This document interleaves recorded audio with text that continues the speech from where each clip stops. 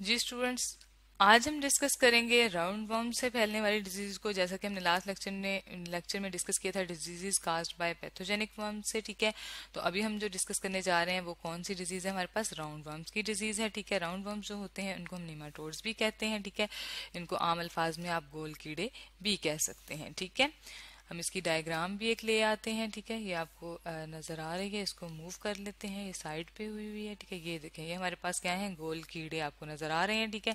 In round worms हैं, ठीक है? ये हमारे पास गोल कीड़े होते हैं, ठीक है? और इनको हम कहते हैं राउंड वर्म्स ठीक है? इनकी बॉडी जो होती है, वो सिलेंड्रिकल होती है, ठीक है? ये आपको नज़र आ रही है लंबूतरी सी, लंबी सी शेप है सिलेंड्रिकल बॉडी है, ठीक है? उसके अलावा ग्लिस्निंग स्मूथ सरफेस होती है। ग्लिस्निंग मीन के अब इसको पकड़ें तो ये वहाँ से फिसल सकती है, ठीक है? तो स्मूथ सी इनकी जो है वो स्किन होती है, ठीक है? ये हमने यहाँ लिख लिया है, ठीक है? और पर स्मूथ सी इसकी स्किन होती है, ठीक है? और जिस जो जो राउंड वो हम डिस्कस कर रहे हैं, जिसकी वजह से कुछ बीमारियाँ काज होती हैं, वो स्केरस लेम्ब्रिक कॉर्टिस होता है, ठीक है?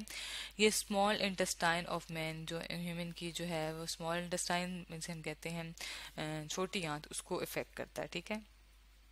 ये इफ़ेक्ट करता है स्मॉल इंटेस्टाइन को, ठीक है? और ये मोस्टली पाया जाता है पिग्स में भी, ठीक है? और कैटल में भी, ठीक है? इसके अलावा जो है, हमारे पास ये, इसकी अगर ये बीमारी हो जाए तो ये क्या इसकी काज, इनके, इसकी वजह से क्या काज होगा या इसकी सिम्टम्स क्या होंगे, ठीक है?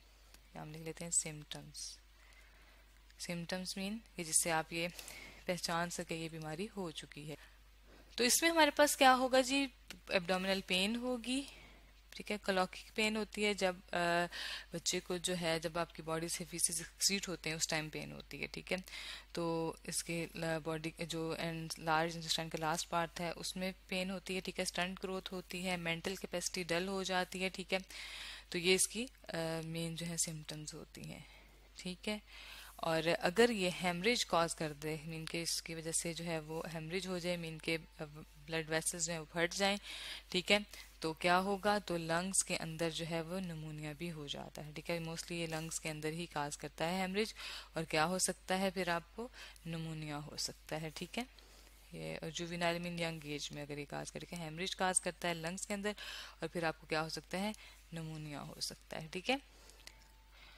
अब इसको हम कंट्रोल कैसे करेंगे? ठीक है? ये बीमारी हो तो गई है इसका कोई कंट्रोल तो होगा, ठीक है? क्योंकि ये अनहाइजेनिक कंडीशंस की वजह से होती है तो इसको कंट्रोल करने के लिए हमारे पास डिफरेंट थिंग्स हैं, ठीक है?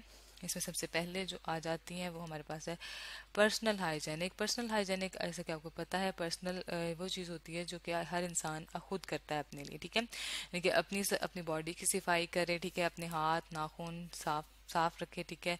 प्रॉपरली बात ले, ठीक है?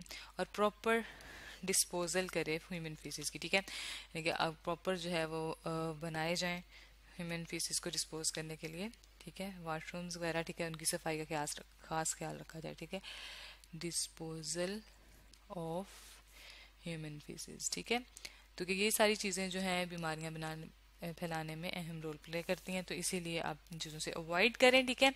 और वॉश करके इस्तेमाल करें, जो भी चीज़ आप खाते हैं फ्रूट्स खाते हैं, ठीक है? हाथ भी वॉश करें फ्रूट्स को भी वॉश करें, ठीक है?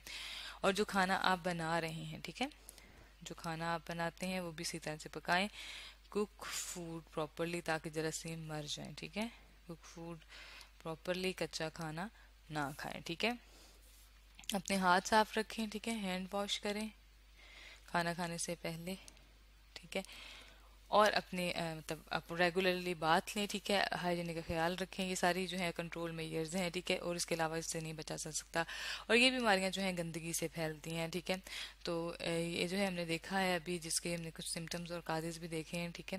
तो ये हमारे पास जो है राउंड वर्म्स जो हैं, ये डिज़ीज़ जो हैं, वो काज करते हैं, ठीक है? तो आज हमने जो है राउंड वर्म्स को डिस्कस किया है, जिसके अंदर हमने देखा है कि राउंड वर्म्स जो हैं वो भी पैथोजेनिक हो सकते हैं मेन डिज़ीज़ कॉजिंग हो सकते हैं। तो आज हमने डिस्कस किया है राउंड वर्म्स को।